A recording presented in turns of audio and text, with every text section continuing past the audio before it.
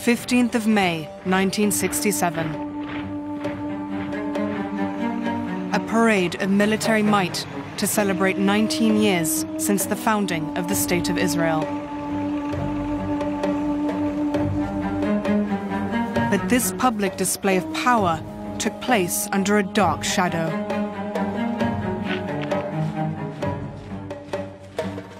The previous day, Egyptian President Gamal Abdel Nasser had ordered his forces to take up positions along the borders with Israel.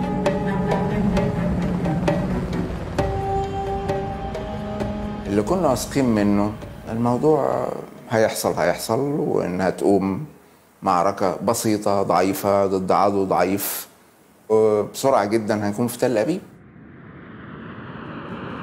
Three weeks later, on the 5th of June 1967, Israel launched an all out war against its Arab neighbors.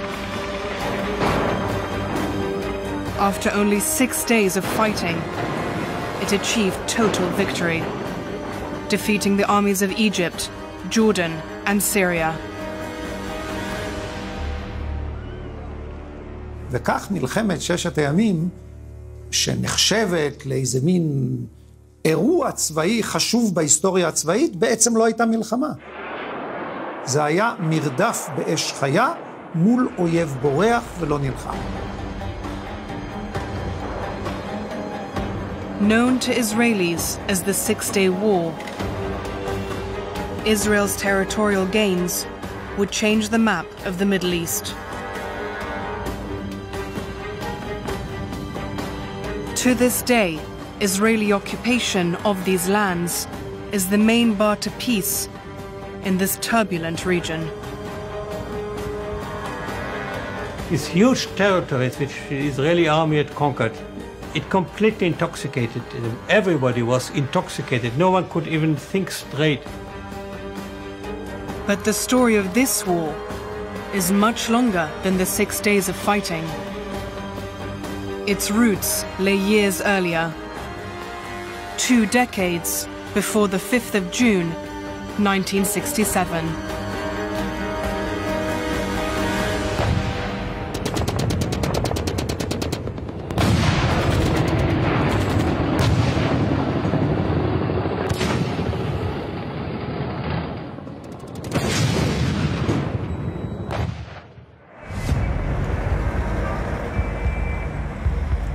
Tel Aviv, the 14th of May, 1948. The day that Zionist leader David Ben Gurion declared the establishment of the State of Israel.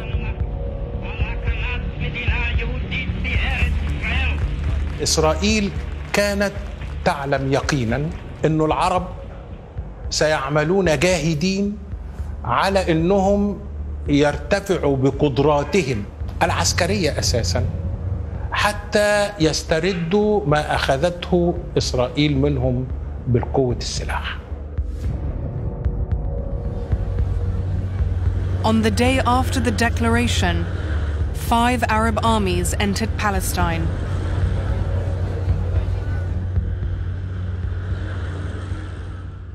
The Lebanese attacked from the north, the Syrians, Iraqis, and Jordanians from the east. But the most serious threat came from the south. The Egyptian army advanced to the village of Yibna, which is 22 kilometers from Tel Aviv. We were a very thin line of soldiers who were uh, defending uh, what was practically the last line of defense of Tel Aviv. But the pressure on the Israelis was relieved when a UN brokered truce came into effect. The Zionist uh, movement purchased arms on the European black markets. The Arab armies, of course, enjoyed mainstream supplies from uh, states. The French supplied the Lebanese and the Syrians, the British supplied the Egyptians, the Jordanians, and the Iraqis with a constant stream of arms. In 1948, the United Nations imposed an embargo on arms shipments to the Middle East, and the British and the French abided by this embargo. When the truce ran out, the Israelis, now better armed, set out to expel the Arab armies from Palestine. حرب 48 الأعمال العسكرية الكبرى كانت ضد القوات المصرية لأن الجبهة المصرية كانت تشكل لهم خطرا كبيرا. الجبهة المصرية كانت هي الجبهة الأهم بالنسبة للجبهات آه، العربية أو بما يسمى دول الطوق. By the end of October, as Israeli troops advanced, an Egyptian brigade was encircled at a Palestinian village called Al Fallujah. Among the officers trapped in this pocket was a young major, Gamal Abdel Nasser. With their armies locked in a stalemate, Egyptian and Israeli delegations met on the island of Rhodes under the sponsorship of the UN. After a month of bargaining, they reached an armistice agreement. Well, first of all, they had to put an end to the fighting. I believe that Egypt wanted to get out of there as much as Israel wanted. And the negotiation was mostly about evacuating the Fallujah pocket. Egypt had no territorial uh, demands from Israel. So it was relatively easy to reach a ceasefire. By the summer of 1949, Lebanon, Jordan, and Syria had also signed armistice agreements with Israel.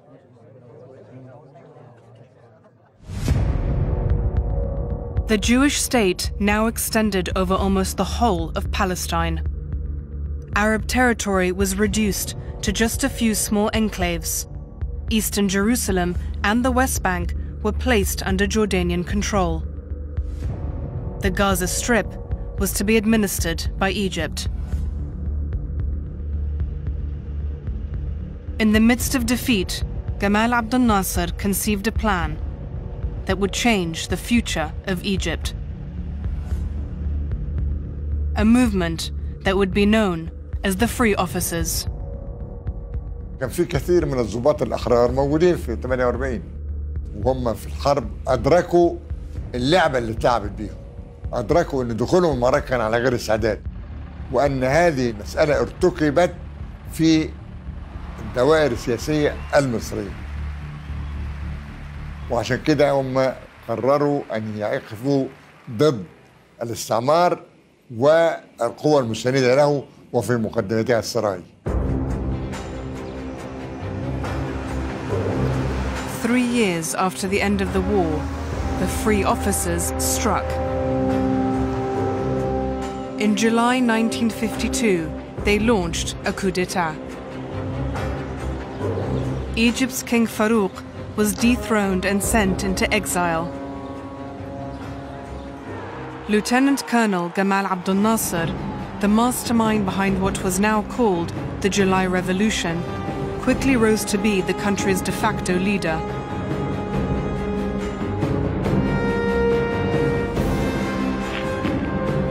In Israel, this news aroused deep rooted fears in Kibbutz de retirement home of Israel's founding Prime Minister, David Ben Gurion.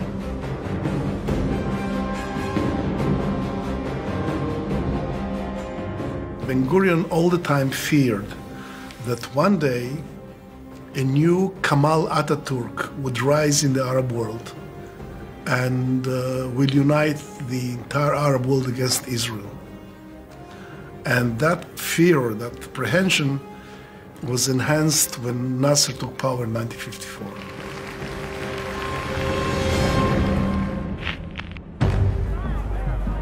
In February 1955, Ben Gurion returned to political life, this time as defense minister.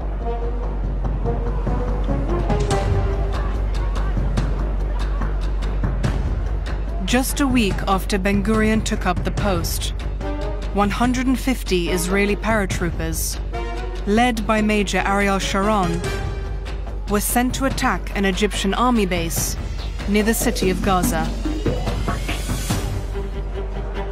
40 Egyptian soldiers were killed and many more injured.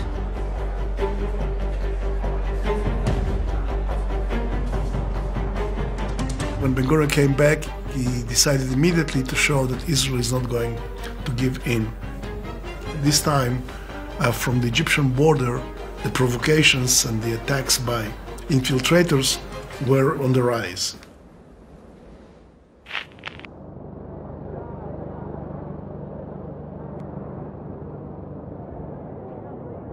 أتى عبد الناصر بعد أيام وبالتحديد في أوائل مارس 1955 واجتمع بكبار رجال المدينة ورؤسائها وأقسم بأن هذا الاعتداء لن ينساه وأن هذا الاعتداء لابد من الرد عليه. Claiming they were Egyptian territorial waters, Nasser closed the Tiran Strait at the entrance to the Gulf of Aqaba. To ships sailing to and from the Israeli port of Eilat.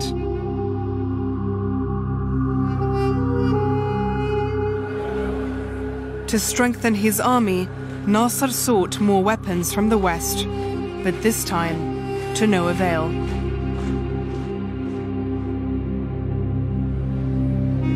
So, in a surprise move, he turned east. Russia's new foreign minister, Mr. Shepilov, lost no time in taking a personal part in Middle East affairs, and he was soon engaged in talks with President Nasser. Egypt signed this huge arms deal with Czechoslovakia, which was actually with the Soviet Union.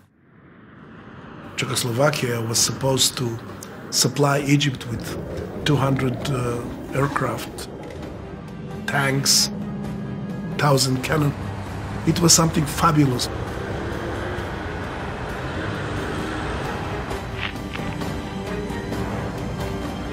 In November 1955, Ben Gurion began a second term as Israel's prime minister.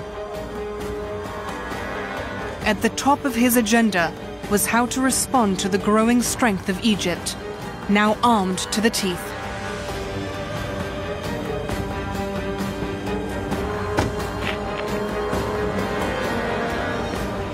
Eight months later, the opportunity came when Nasser announced the nationalization of the Suez Canal.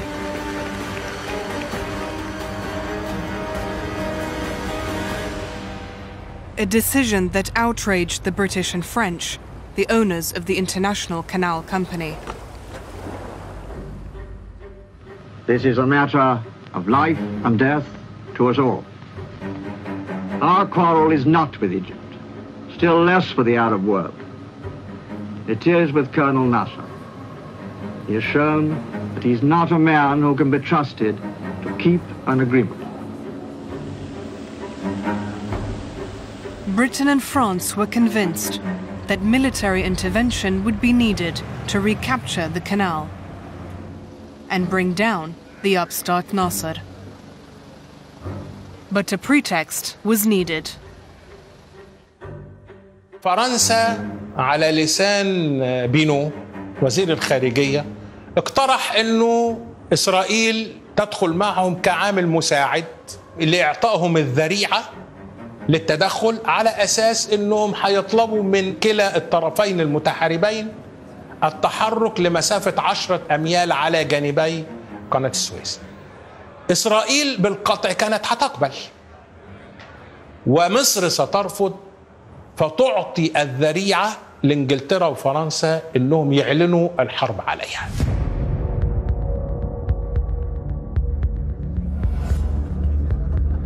According to this tripartite secret agreement, on the 29th of October 1956, Israeli forces crossed the border into Egypt.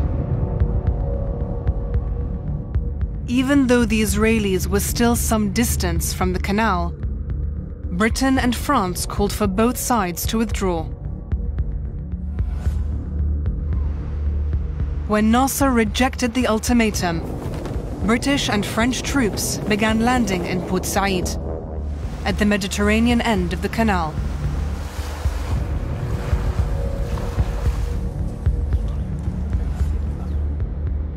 United States was not consulted in any way about any phase of these actions, nor were we informed of them in advance. It is our hope and intent that this matter will be brought before the United Nations General Assembly. There, with no veto operating, the opinion of the world can be brought to bear in our quest for a just end to this tormenting problem. By the end of December, under heavy international pressure, the British and French were forced into a humiliating withdrawal from Port Said.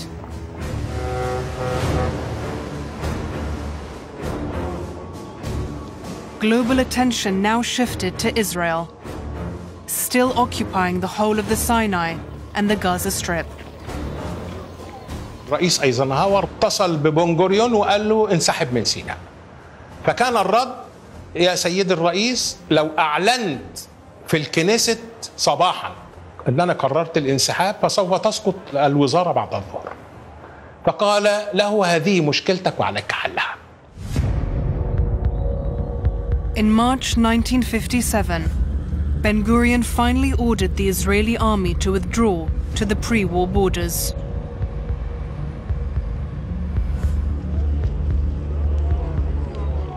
However, he had secured two major gains. The stationing of UN troops along the borders with Egypt and Gaza put an end to the Palestinian Fedayeen's raids inside Israeli territories.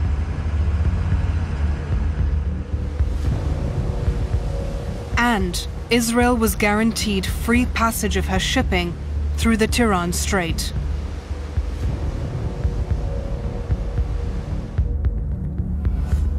The Sinai campaign gave Israel actually about 10 years of unsigned peace. On the Egyptian border between 1957 and 1967, there was a total calm. But the fragile peace on the borders masked continuing hostility between Cairo and Tel Aviv. In Israel, Ezer Weizmann, the commander of the Air Force, was devising a new strategy Operation Focus. האמת היא שהתאמנו למבצע מוקד אה, שנים לא מעטות לפני הביצוע עצמו. הקונספט היה שאנחנו תוקפים את המסלולים ומוציאים אותם משימוש, ולאחר מכן מתארגנים לצליפה ויורים במטוסים הפזורים בשדה. But two things threatened to derail that plan. The first was Egypt's highly versatile Soviet made air defenses. This network would soon face its first major test. Not, though, at the hands of Weizmann's Air Force, but through the bizarre actions of an Israeli peace activist. Abie Nathan was a commercial pilot, and as a gimmick for the elections of 1965, he bought a little airplane, painted it white, and put the name Peace, and said, If I'm elected to the Knesset, I will fly to Egypt. He was not elected. A very small number of people voted for him. But by that time, he became very serious of this. So one day, without any announcement, he took off with this plane. Abi Natan landed in Port Said, Egypt, in February 1966. وصل القناة ازاي ونزل المطار ازاي وفين الدفاع الجوي وفين الرادارات وفين الطيران Furthermore, Natan asked to meet President Nasser to deliver a petition calling for peace. Egyptians treated him very nicely. They did not let him into Egypt, but they let him fill his tank with gasoline and sent him back. Natan's flight had revealed the weakness of Egypt's air defenses. But Israel still had a major concern the MiG 21. a high performance supersonic Soviet fighter. It formed the backbone of the Arab air forces. But it too would soon give up its secrets.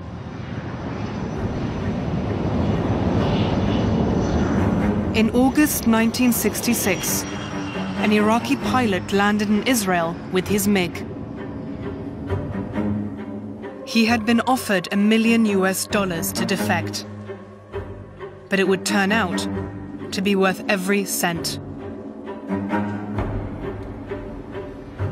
Danny Shapira, our chief test pilot of the Air Force, checked the aeroplane and we knew all its disadvantages of the MiG 21, which was the aeroplane of the war in the enemy hands.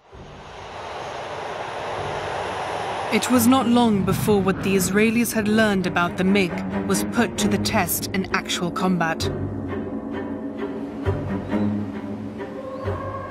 In April 1967, the border skirmishes with Syria escalated into a full-scale aerial battle. We shot down seven aircraft.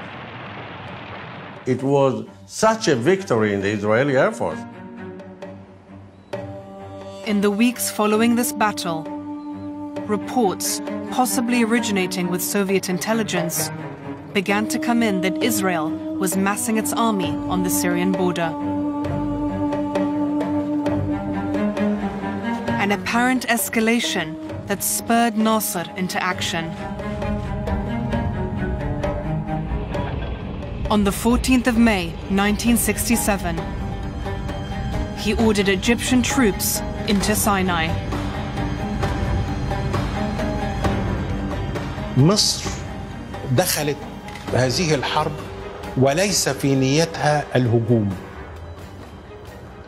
وإنه مجرد إن 130 ألف عسكري تواجدوا في سيناء هيخلق شيء من الردع لإسرائيل من إنها تقوم بعمل مسلح أو تحاول إنها تغزو أو تهاجم سوريا.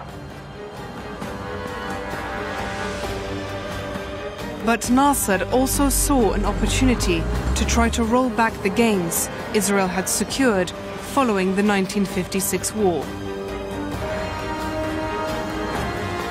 On the 16th of May, Egypt asked the UN to withdraw its peacekeeping troops from Sinai.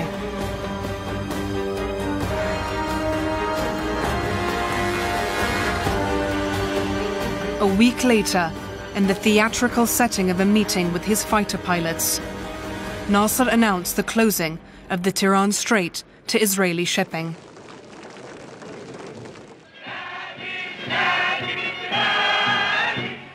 News of Nasser's actions brought people out onto the streets all across the Arab world. حصلت حمية عربية في هذه المرحلة. إسرائيل استغلتها تماما سياسيا وإعلاميا إنها معرضة إلى الفناء. وبالتالي ادت لنفسها المبرر لشن الضربة الاستباقية أو الضربة الإجهاضية لحماية نفسها. Israel's new war cabinet under Levi Eshkol took the decision to open hostilities on the 5th of June 1967. The Air Force was given the green light to launch Operation Focus, the aerial attack it had been rehearsing for years. The Israelis had rolled the dice, which would determine the future of their state.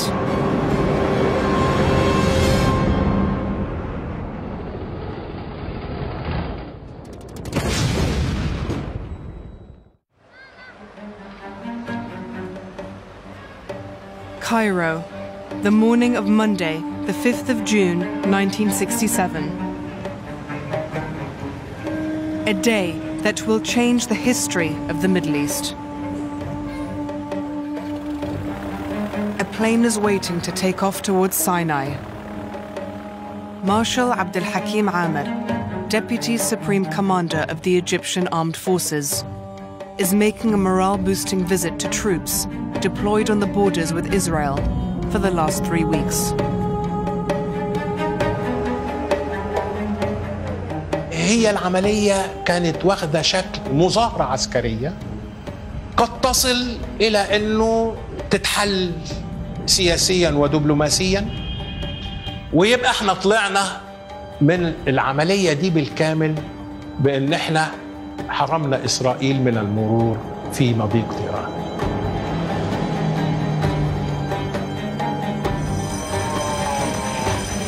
But this Egyptian show of strength was put to good use by Israeli media. Memories of the Holocaust were invoked to persuade Israelis they were facing a threat to their very existence. The Egyptians were the Nazis. Gamal Abdel Nasser was never mentioned by name in the Hebrew media at the time. He was called the Egyptian tyrant. That was his name. In Washington, US President Lyndon B. Johnson issued a stark warning to whichever side should start the war. It was a thinly veiled threat to the Egyptian leadership. اجتمعوا عدة اجتماعات حضرها الرئيس جمال عبد الناصر. قال لك طيب لو سمحنا لإسرائيل بأنها تقوم بالضربة الأولى. فقائد القوات الجوية اعترض وقال أنا لا أقبل هذا الموضوع. فقالوا له هل تفضل إن إحنا نقوم بالضربة الأولى ونحارب أمريكا وإسرائيل ام نتلقى الضربه الاولى ونحارب اسرائيل فقط In fact, Israel, though apparently the underdog, was far more prepared for war than any of its Arab opponents.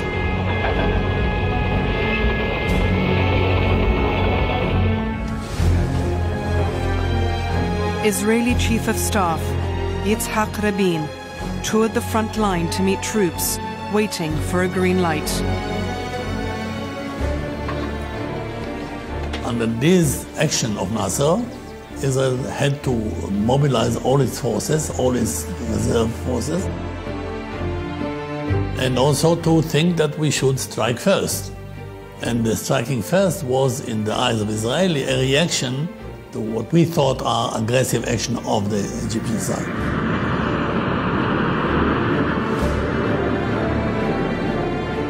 The opening attack would be the much rehearsed Operation Focus.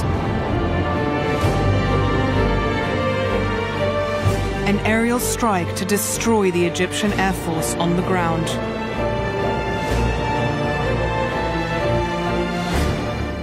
In the early hours of the 5th of June 1967, the Israeli Air Force prepared to deliver the first blow. When we wake up in the morning and came to the briefing room, we wrote on the blackboard the hours, which was uh, 7:45.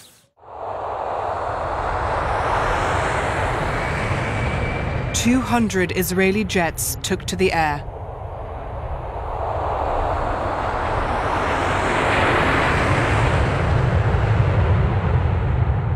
They would arrive over Egyptian airfields at exactly 7:45 a.m. To avoid radar detection, they flew first north, then west over the Mediterranean. Turning south, the planes came in from the north, not from the east, as the Egyptians had anticipated.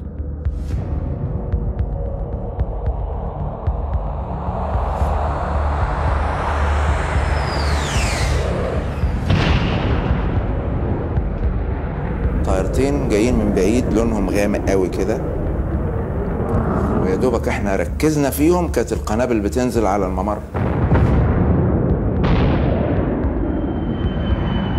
وطخ طخ طخ وبقيت الويف بقى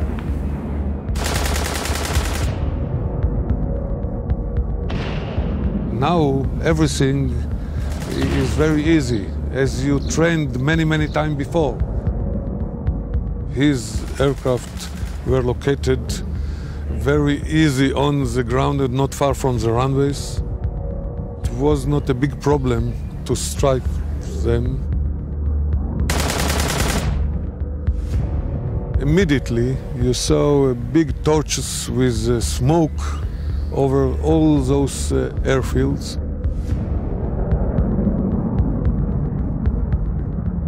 جريت ولمحت خندق نطيت فيه لقيت لايرز من البشر جوه الخندق اخرهم واحد كان أستاذي في السرب. فقلت له الموضوع انتهى خلاص. قال لي عيب ما تقولش كده بلاش الانهزامية دي. قلت له انهزامية إيه؟ هل يعقل إن إحنا بس اللي بنضرب؟ طبعا كله بيتضرب في وقت واحد دلوقتي.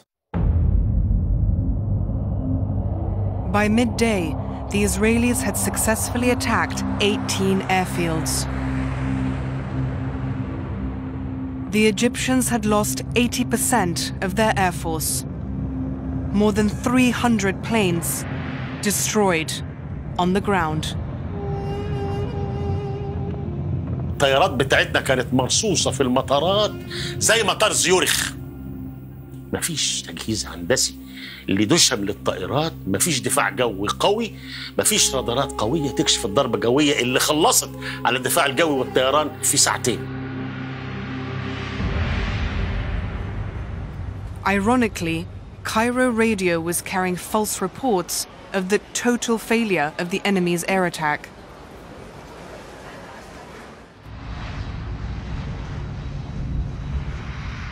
With news coming in of Egypt's apparent success, Jordan, Syria, and Iraq now launched their own airstrikes. אני זוכר שביום הראשון, נדמה לי זה היה הראשון או השני, ראינו מטוסי הנטר ירדנים תוקפים את שדה התעופה של סירקין. זה היה שדה לא פעיל. אבל היו שם איזה מטוס נורד אחד, אם אני לא טועה, ומטוסי דמה. ולא הבנו למה. Ineffective though they were, those attacks gave the Israelis a pretext to widen the scope of the war. Operation Focus was extended to cover airfields in Jordan, Syria, and even a key base in Iraq. H3 was the only base from which they could reach Israel and the only base in which we could reach uh, with the last drops of the fuel. My third flight that day, I attacked El Maza Air Base not far from Damascus. When I made my first turn over the city of Damascus, people climbed on the roofs and waved for us, the people in Damascus. Caught off guard, the Syrians lost half their aircraft. The H3 airfield in Iraq was put out of action. And Jordan's air force was totally destroyed. By sunset on the first day of war, Operation Focus had guaranteed Israel total air superiority in the skies over the Middle East.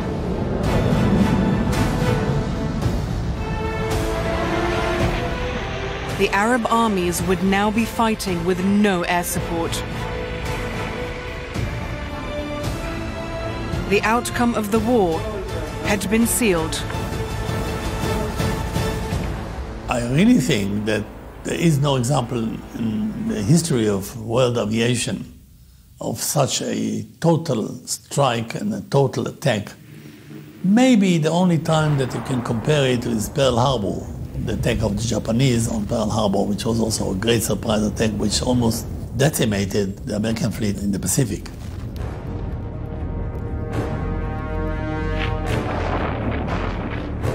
On the ground, though, Egyptian forces were faring much better.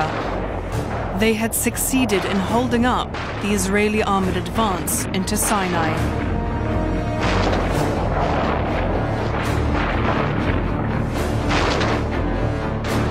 Yet the Egyptian Deputy Supreme Commander, Marshal Amr, was about to take a disastrous decision.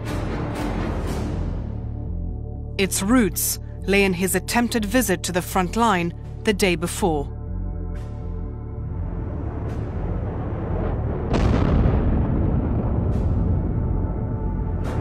מטוסים ישראלים טסו מעל שדה התעופה ביר גפגפה שבסיני, באותו זמן עצמו טס מטוס מצרי קל עם סגן נשיא מצרים, המרשל עמאר, וכל המטה הכללי המצרי.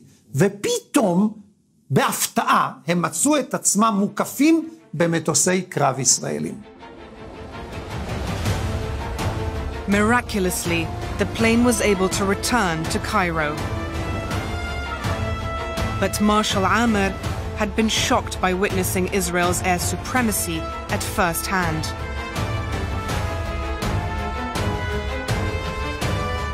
The next day, Amr ordered an immediate withdrawal of Egyptian troops from Sinai. An order which led to the total collapse of the Egyptian front.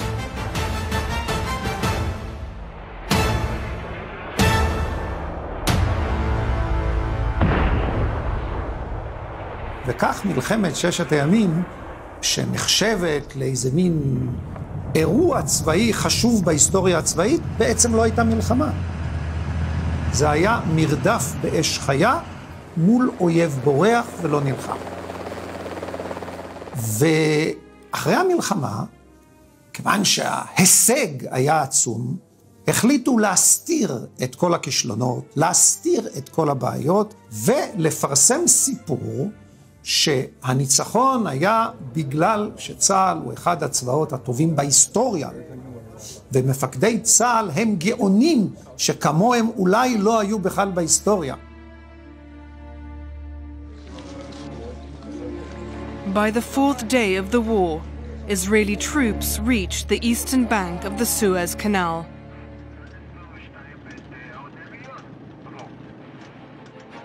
They had occupied the whole of the Sinai Peninsula and the Gaza Strip. إحنا ظلمنا في هذا الحرب كعسكريين لم نقاتل جيش مصر لم يقاتل نفذ أوامر انسحاب واتبهدل في عملية الانسحاب وشلنا وتحملنا عن قيادة السعار هذه الهزيمة. فكانت جبال حزن رهيبة جدا. The previous day, the Israelis had also tasted success on their eastern front, ending the short lived war launched by Jordan's King Hussein. By 11 o'clock in the morning, the first day, uh, virtually after we uh, destroyed the Egyptian uh, Air Force, but Hussein didn't know it at that time.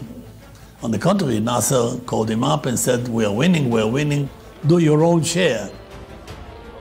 Uh, he didn't do uh, a big offensive, he was un- unable to do it, but he conquered the hill around the government house. It endangered the, the southern part of Jerusalem. Uh, his forces were uh, only by now a few hundred yards away from Israeli houses of uh, Israeli citizens.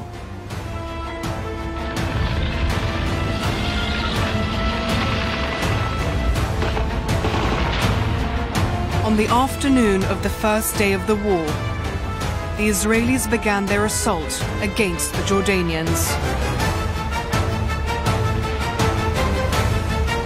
The battle soon escalated, and two days later, the whole of the West Bank and Jerusalem fell to the Israelis. המפקדים הירדנים ראו שהמצרים נסוגים, ובכל אופן לא מתקיפים ולא פועלים, אז הם החליטו להעביר את שתי חטיבות, חטיבות השריון הירדניות ממזרח לנהר הירדן. וכך לא הייתה שום בעיה גם לכבוש את כל יהודה ושומרון. With the war all but over on the Egyptian and Jordanian fronts, and ignoring a UN call for a ceasefire, Israel's high command now decided to secure its borders with Syria. On the fifth day of war, Israeli troops began to climb the strategic Golan Heights. أنا كنت عام 67 ضابط في الجيش اللبناني برتبة ملازم وكنت على الحدود الجنوبية للبنان مقابل الجولان يعني حضرت معركة السبعة وستين كأنني أحضر على مسرح أذكر تماما أن وخلافا لما ذكر يعني أن الجيش السوري قاوم فعلا حصلت مقاومة سورية شرسة جدا But on the sixth day of the war, Damascus Radio made an unexpected announcement. Syria had accepted the UN ceasefire. With no advance warning given to troops fighting on the Golan, the broadcast fatally undermined Syrian army resistance.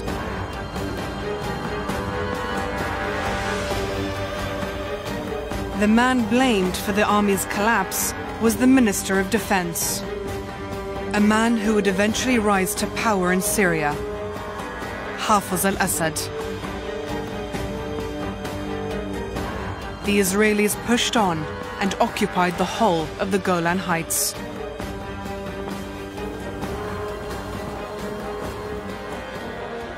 لم يكن خطأ خطأ الضباط السوريين كان خطأ القيادة السياسية التي أعلنت في ذلك الوقت وقف إطلاق النار بالإذاعة بالراديو قبل أن يتبلغه الجنود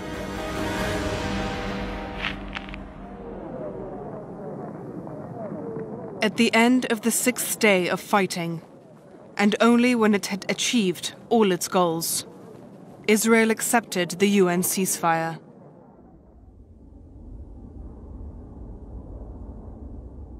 The guns fell silent. The Arabs had suffered a humiliating defeat.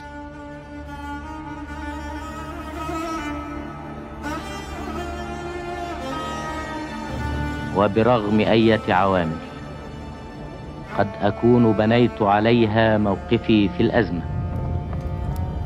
فإنني على استعداد لتحمل المسؤولية كلها.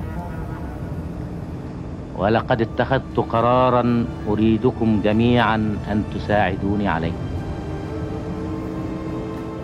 لقد قررت أن أتنحى تماما ونهائيا.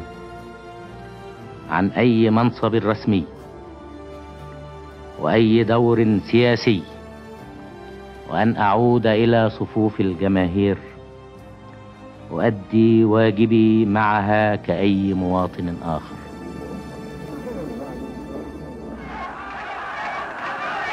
Under heavy popular pressure, Nasser rescinded his decision to step down from the presidency. And attempts to regain the lost Arab territories began. Israel had tripled its size, capturing the Sinai Peninsula, the Gaza Strip, the West Bank, eastern Jerusalem, and the Golan Heights.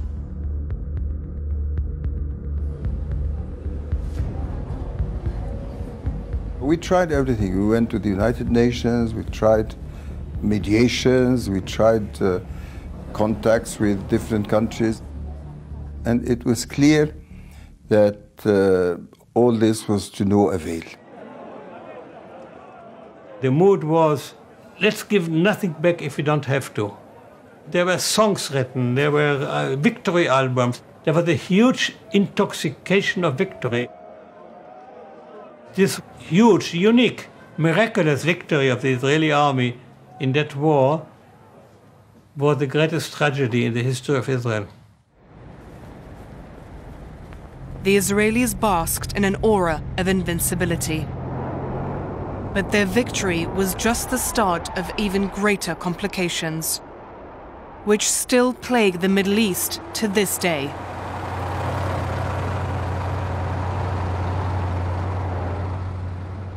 Israel found itself governing and being responsible for a million Palestinians in the newly occupied Gaza Strip, West Bank, and Jerusalem.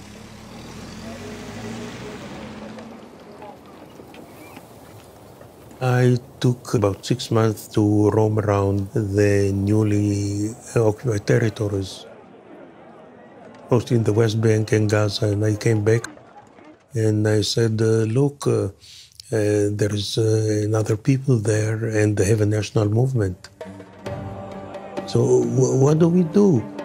Either we, we conquer them and uh, create a sort of an apartheid state, or we half the loaf into predominantly Jewish uh, state called Israel, and the West Bank and Gaza should be a basis for future negotiations, a recognition of their rights to have a state of their own, a viable state of their own in the West Bank and Gaza.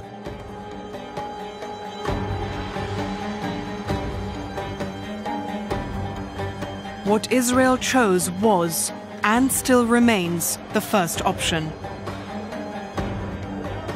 In the aftermath of the war, Israel declared what it called the unification of Jerusalem. The entire holy city was placed under Israeli jurisdiction, including Christian and Muslim holy sites.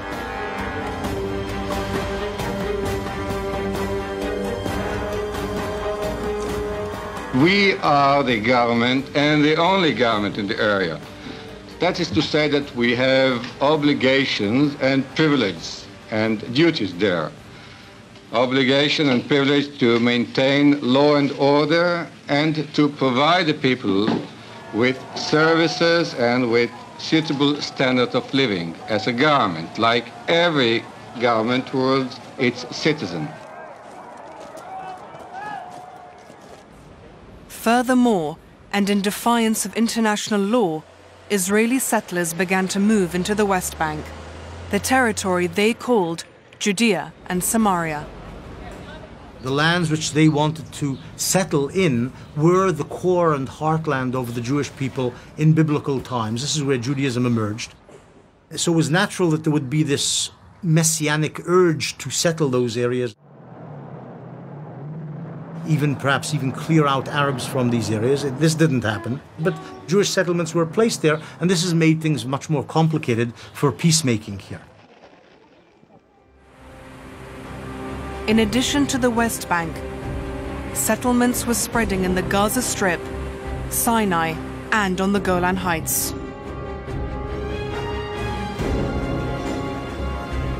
And as the Israelis tightened their grip on the occupied territories, it became clear they had no intention of returning them.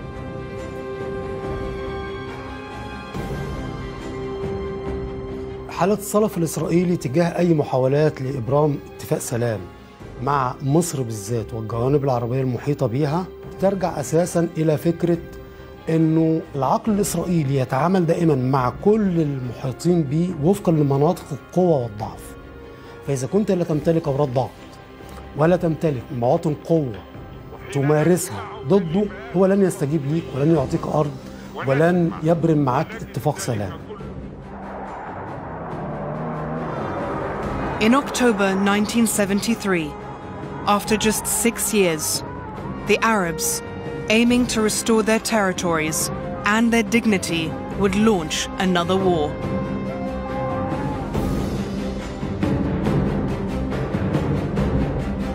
Israel was about to receive a sharp reminder of the vulnerability it thought it had conquered forever in the War of June 1967.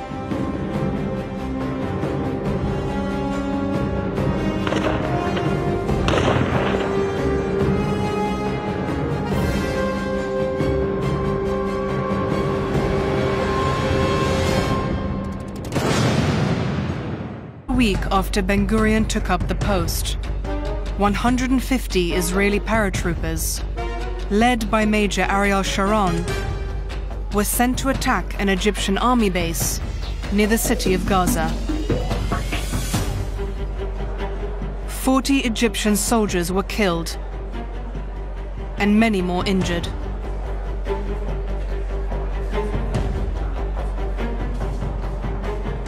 When Ben Gurion came back, decided immediately to show that Israel is not going to give in.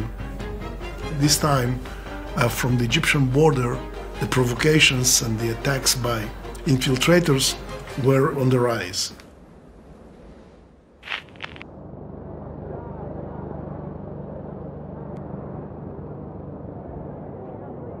أتى عبد الناصر بعد أيام وبالتحديد في أوائل مارس 1955 واجتمع بكبار رجال المدينة ورؤسائها وأقسم بأن هذا الاعتداء لن ينساه وأن هذا الاعتداء لابد من الرد عليه. Claiming they were Egyptian territorial waters, Nasser closed the Turan Strait at the entrance to the Gulf of Aqaba. To ships sailing to and from the Israeli port of Eilat.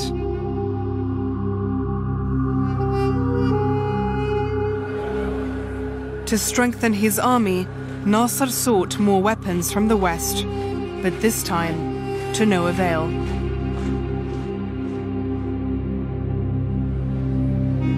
So, in a surprise move, he turned east. Russia's new foreign minister, Mr. Shepilov, lost no time in taking a personal part in Middle East affairs, and he was soon engaged in talks with President Nasser. Egypt signed this huge arms deal with Czechoslovakia, which was actually with the Soviet Union. Czechoslovakia was supposed to supply Egypt with 200 uh, aircraft, tanks, 1,000 cannon. It was something fabulous.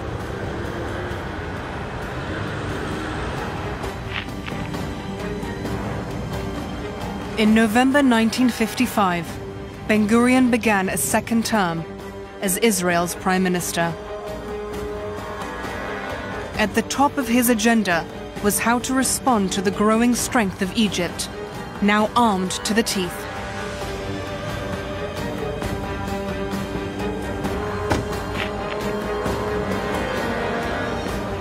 Eight months later, the opportunity came. Days of fighting. It achieved total victory, defeating the armies of Egypt, Jordan, and Syria. וכך מלחמת ששת הימים, שנחשבת לאיזה מין אירוע צבאי חשוב בהיסטוריה הצבאית, בעצם לא הייתה מלחמה. זה היה מרדף באש חיה מול אויב בורח ולא נלחם. Known to Israelis as the Six Day War, Israel's territorial gains would change the map of the Middle East.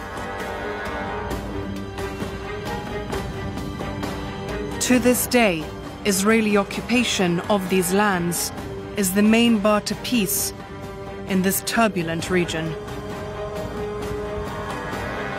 These huge territories which the Israeli army had conquered, it completely intoxicated them. Everybody was intoxicated. No one could even think straight. But the story of this war is much longer than the six days of fighting. Its roots lay years earlier, two decades before the 5th of June, 1967.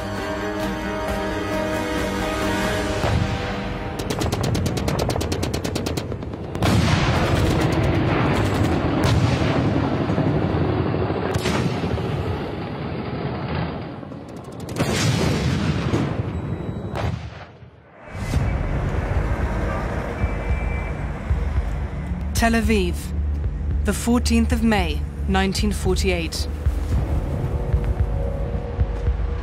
The day that Zionist leader David Ben Gurion declared the establishment of the State of Israel.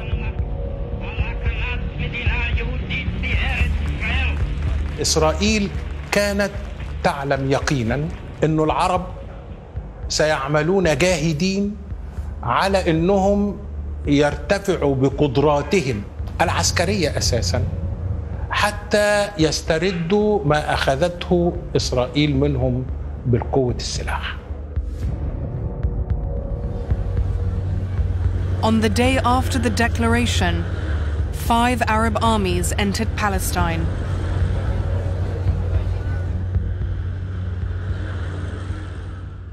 The Lebanese attacked from the north, the Syrians, Iraqis, and Jordanians from the east. But the most serious threat came from the south. the Egyptian army advanced to the village of Yebna, which is 22 kilometers from Tel Aviv. Israel, and the only base in which we could reach uh, with the last drops of the fuel. My third flight that day, I attacked El Maza air base not far from Damascus. When I made my first turn over the city of Damascus, people climbed on the roofs and waved for us, the people in Damascus. Caught off guard, the Syrians lost half their aircraft. The H 3 airfield in Iraq was put out of action. And Jordan's air force was totally destroyed.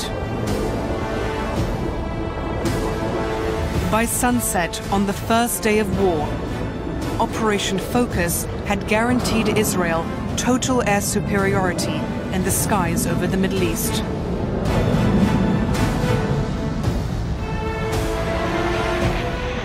The Arab armies would now be fighting with no air support. The outcome of the war had been sealed.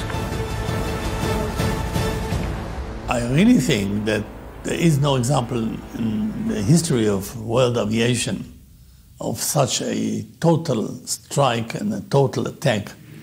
Maybe the only time that you can compare it is Pearl Harbor, the attack of the Japanese on Pearl Harbor, which was also a great surprise attack, which almost decimated the American fleet in the Pacific.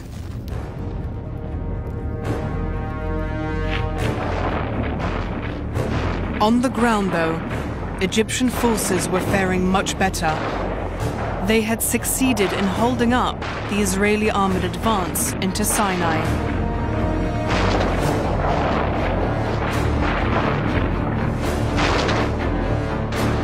Yet the Egyptian Deputy Supreme Commander, Marshal Amr, was about to take a disastrous decision.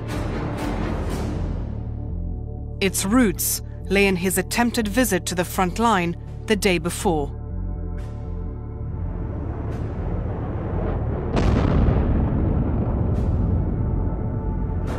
מטוסים ישראלים טסו מעל שדה התעופה ביר גפגפה שבסיני, באותו זמן עצמו טס מטוס מצרי קל עם סגן נשיא מצרים, המרשל עמר, וכל המטה הכללי המצרי. ופתאום, בהפתעה, הם מצאו את עצמם מוקפים במטוסי קרב ישראלים. Miraculously, the plane was able to return to Cairo. He was not elected. A very small number of people voted for him. But by that time, he became very serious of this. So one day, without any announcement, he took off with this plane. Abie Nathan landed in Port Said, Egypt, in February 1966.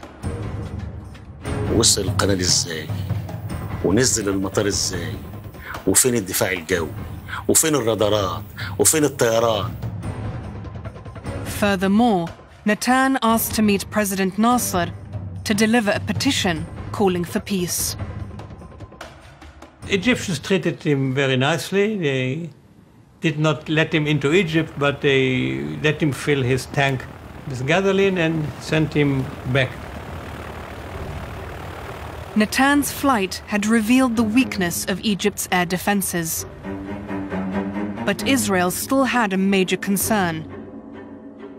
The MiG 21, a high performance supersonic Soviet fighter.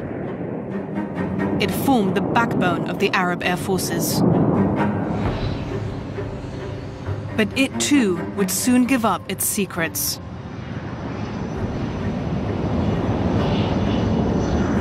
In August 1966, an Iraqi pilot landed in Israel with his MiG. He had been offered a million US dollars to defect. But it would turn out to be worth every cent.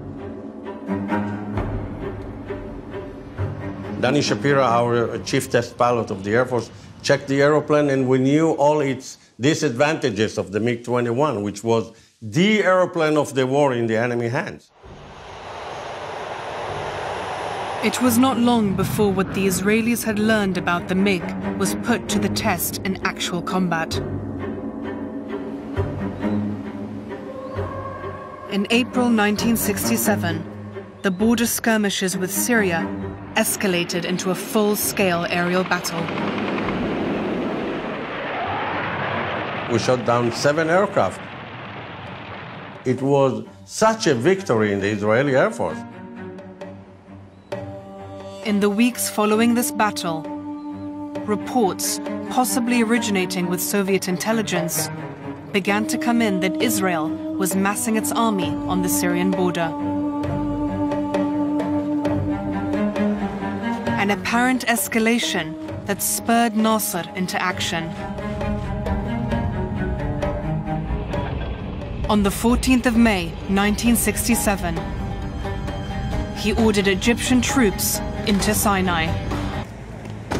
By the summer of 1949, Lebanon, Jordan, and Syria had also signed armistice agreements with Israel.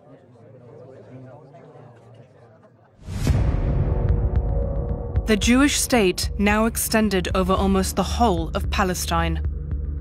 Arab territory was reduced to just a few small enclaves. Eastern Jerusalem and the West Bank were placed under Jordanian control. The Gaza Strip was to be administered by Egypt. In the midst of defeat, Gamal Abdel Nasser conceived a plan that would change the future of Egypt. A movement that would be known as the Free Officers. كان في كثير من الضباط الأحرار موجودين في 48 وهم في الحرب أدركوا اللعبة اللي اتلعبت بيهم. أدركوا أن دخولهم المعركة كان على غير استعداد وأن هذه مسألة ارتكبت في الدوائر السياسية المصرية. وعشان كده هم قرروا أن يقفوا ضد الاستعمار والقوى المستندة له وفي مقدمتها السراي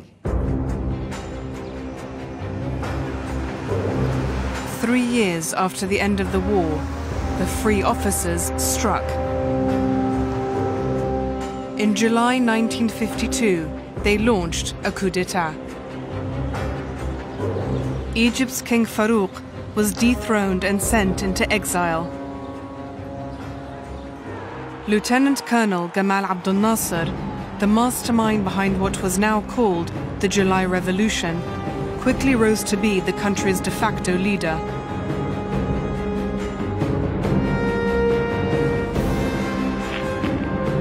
In Israel, this news aroused deep-rooted fears in Kibbutz Sde Boker, retirement home of Israel's founding Prime Minister, David Ben-Gurion.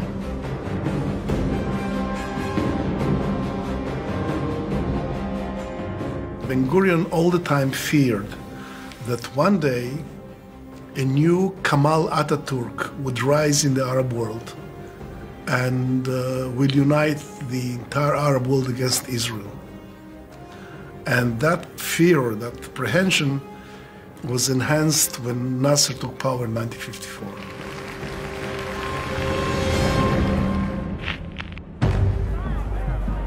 In February 1955, Ben Gurion returned to political life, this time as defense minister.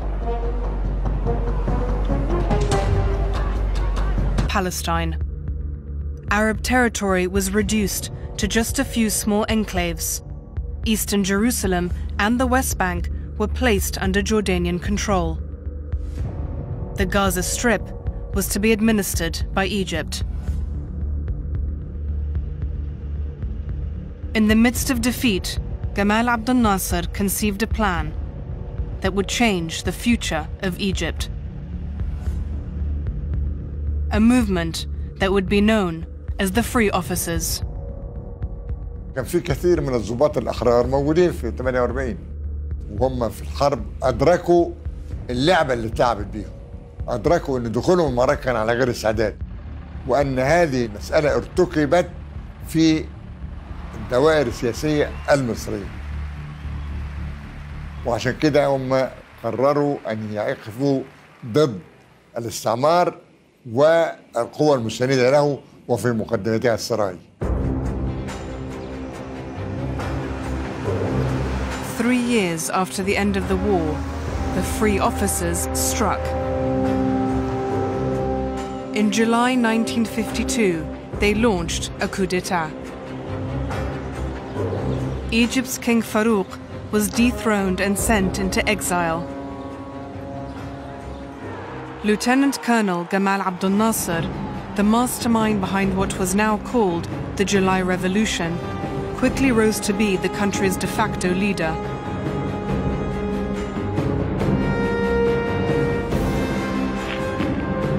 In Israel, this news aroused deep rooted fears in Kibbutz Sde Boker, retirement home of Israel's founding Prime Minister, David Ben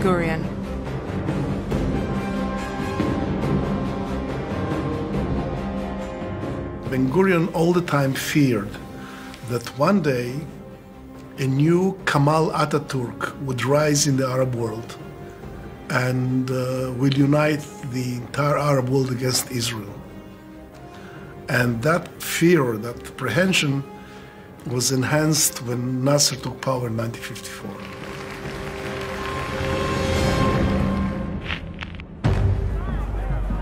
In February 1955, Ben Gurion returned to political life, this time as defense minister.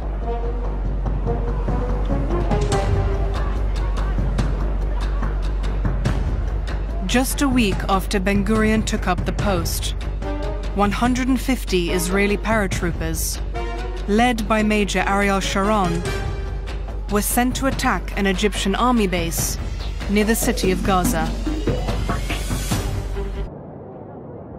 أتى عبد الناصر بعد أيام وبالتحديد في أوائل مارس 1955 واجتمع بكبار رجال المدينة ورؤسائها وأقسم بأن هذا الاعتداء لن ينساه وأن هذا الاعتداء لابد من الرد عليه.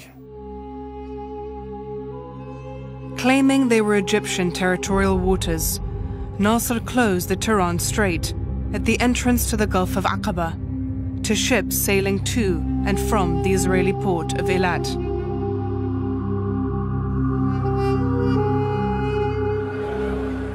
To strengthen his army, Nasser sought more weapons from the west, but this time to no avail.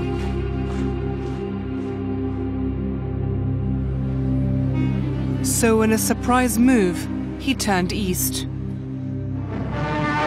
Russia's new foreign minister, Mr. Shepilov, lost no time in taking a personal part in Middle East affairs. And he was soon engaged in talks with President Nasser. Egypt signed this huge arms deal with Czechoslovakia, which was actually with the Soviet Union. Czechoslovakia was supposed to supply Egypt with 200 uh, aircraft, tanks, 1,000 cannon. It was something fabulous.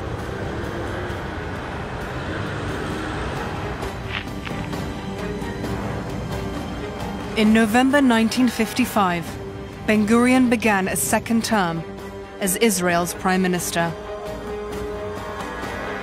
At the top of his agenda was how to respond to the growing strength of Egypt, now armed to the teeth.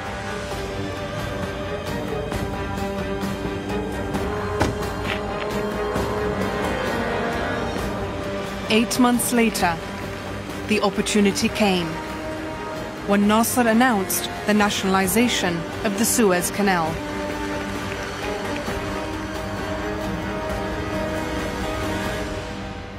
A decision that outraged the British and French, the owners of the International Canal Company. This is a matter of life and death to us all.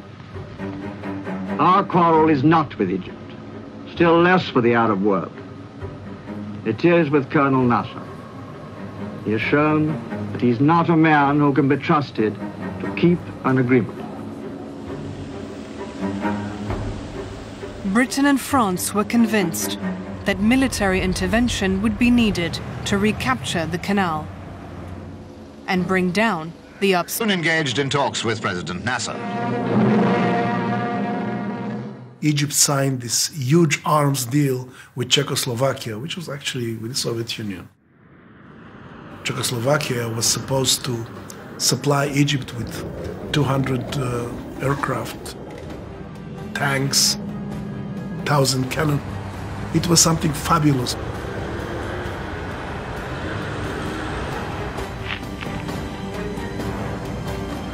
In November 1955, Ben Gurion began a second term as Israel's prime minister. At the top of his agenda was how to respond to the growing strength of Egypt, now armed to the teeth.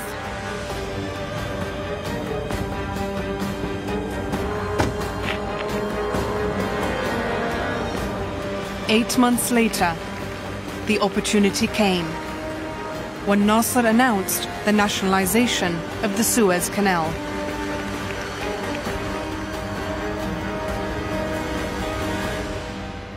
A decision that outraged the British and French, the owners of the International Canal Company.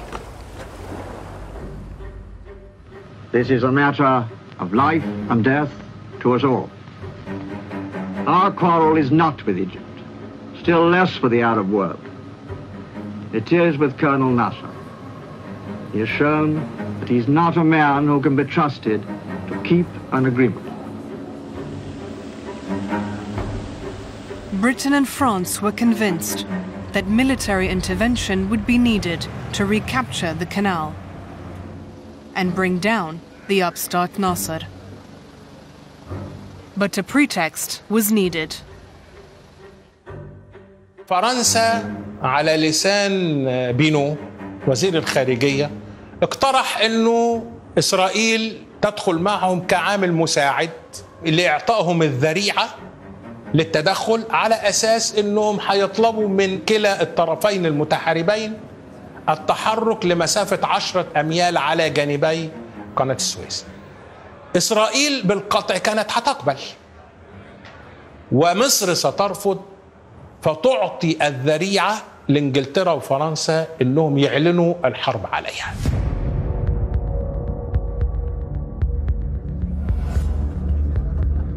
According to this tripartite secret agreement, on the 29th of October 1956, Israeli forces crossed the border into Egypt. Even though the Israelis were still some distance from the canal, Britain and France called for both sides to withdraw. Israel found itself governing and being responsible for a million Palestinians in the newly occupied Gaza Strip, West Bank, and Jerusalem.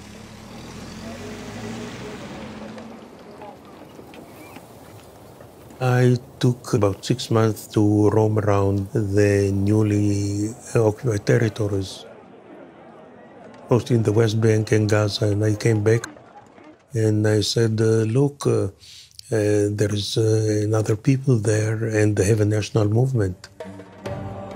So, what do we do?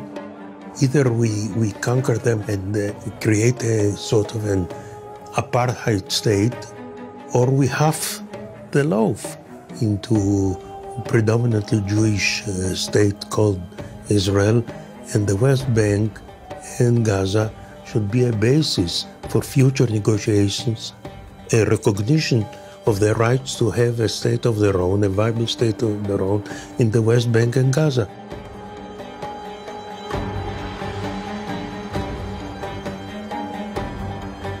What Israel chose was, and still remains, the first option. In the aftermath of the war, Israel declared what it called the unification of Jerusalem. The entire holy city was placed under Israeli jurisdiction, including Christian and Muslim holy sites.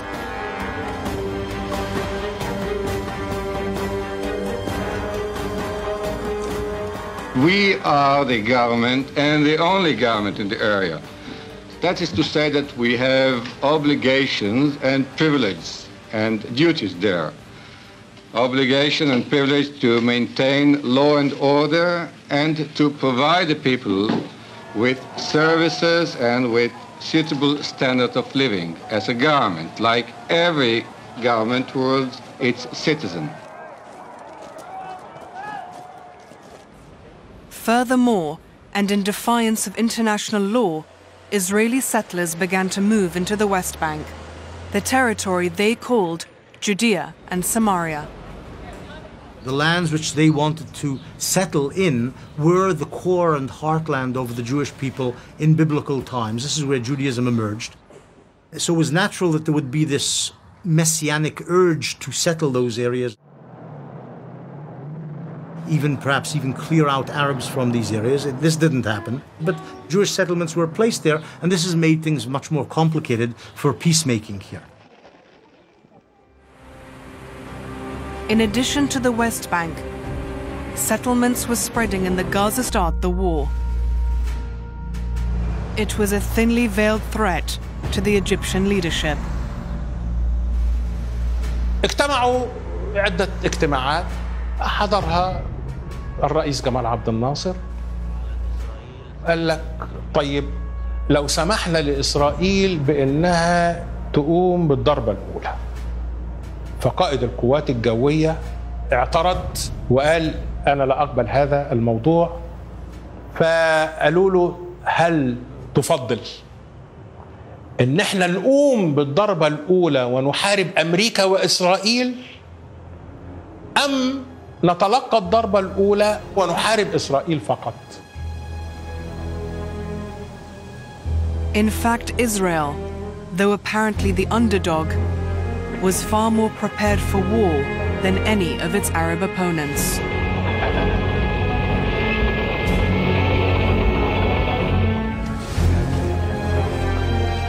Israeli Chief of Staff Yitzhak Rabin toured the front line to meet troops waiting for a green light.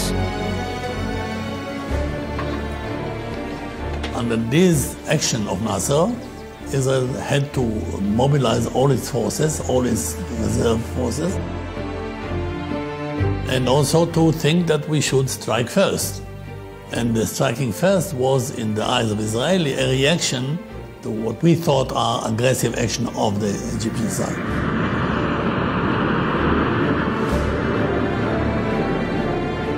The opening attack would be the much rehearsed Operation Focus. An aerial strike to destroy the Egyptian Air Force on the ground.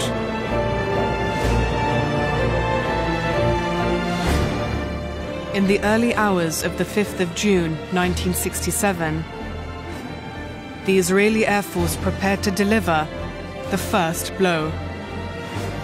When we wake up in the morning and came to the briefing room, we wrote on the blackboard the hours, which was uh, 7.45.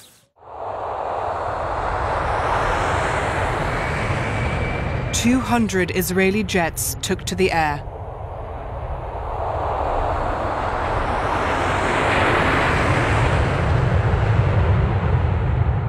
They would arrive over Egyptian airfields at exactly 7:45 a.m. To avoid radar detection, they flew first north, then west over the Mediterranean. Turning south, the planes came in from the north. The Jewish state now extended over almost the whole of Palestine. Arab territory was reduced to just a few small enclaves. Eastern Jerusalem and the West Bank were placed under Jordanian control. The Gaza Strip was to be administered by Egypt. In the midst of defeat, Gamal Abdel Nasser conceived a plan that would change the future of Egypt. A movement that would be known as the Free Officers. كان في كثير من الضباط الأحرار موجودين في 48 وهم في الحرب أدركوا اللعبة اللي اتلعبت بيهم أدركوا أن دخولهم المعركة كان على غير استعداد. وأن هذه المسألة ارتكبت في الدوائر السياسية المصرية. وعشان كده هم قرروا أن يقفوا ضد الاستعمار والقوى المستندة له وفي مقدمتها السراي Three years after the end of the war, the Free Officers struck. In July 1952, they launched a coup d'etat. Egypt's King Farouk was dethroned and sent into exile. Lieutenant Colonel Gamal Abdel Nasser, the mastermind behind what was now called the July Revolution, quickly rose to be the country's de facto leader.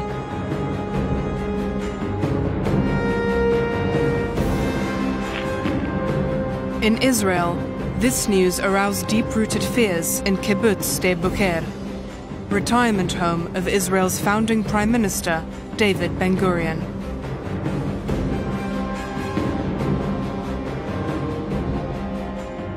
Ben Gurion all the time feared that one day a new Kemal Ataturk would rise in the Arab world and uh, will unite the entire Arab world against Israel. And that fear, that apprehension, was enhanced when Nasser took power in 1954.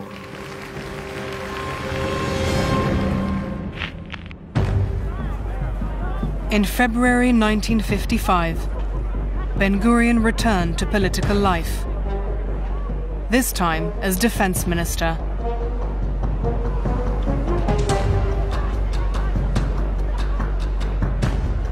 Just a week after Ben Gurion took up the post, 150 Israeli paratroopers, led by Major Ariel